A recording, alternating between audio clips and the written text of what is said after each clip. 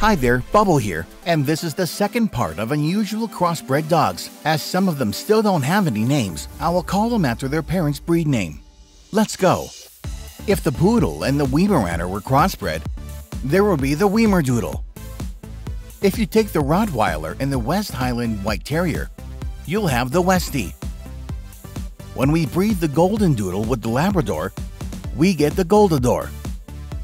A cross between the Dachshund and the Poodle called the Dachshapoo.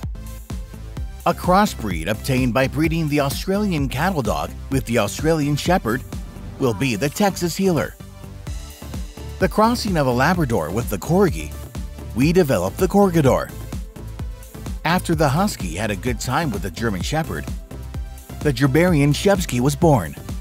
The result of crossing the Boston Terrier with the Jack Russell Terrier is the Bojack the Labrador and the Afghan Hound will have Affador puppies.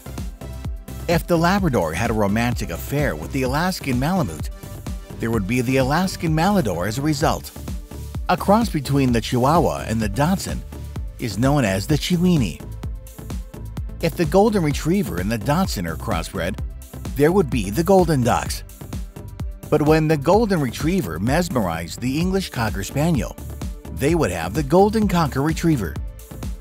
If the Yorkshire Terrier and the Maltese are crossbred, there would be the Morkie. An international hybrid mix between the Weimaraner and the Dachshund is known as the Damaraner. The Bernese Mountain Dog and the Poodle would give birth to the Bernedoodle. The Chihuahua and the Beagle will have Cheagle puppies.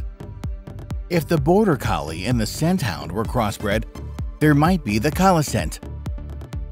Or for example, the Alaskan Malamute plus the Husky equals the Alusky. If the Shepherd Dog and the Shar-Pei were crossbred, there might be the Sharpard Pei. A crossbred between the Pug and the Scent Hound might give us the dog breed of the Pug Scent.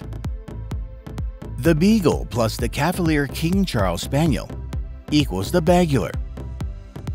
And finally, the Siberian Husky and the English Cocker Spaniel give us the Siberian Cocker. Guys, which of these dogs are your favorite? Please like and share the videos in social networks, and we'll be right back as fast as we can. Again, Bubble here. See you later.